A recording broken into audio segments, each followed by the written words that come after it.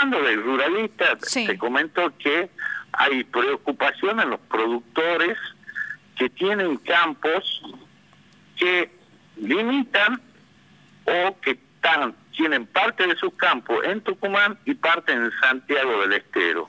¿Por qué hay preocupación?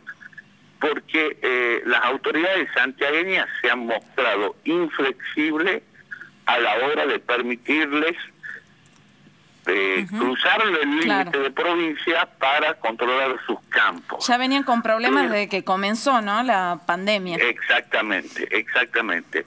Y ah, están siendo víctimas de hechos de robo de ganado, robo de producciones, porque justamente no pueden realizar un control a su a su producción.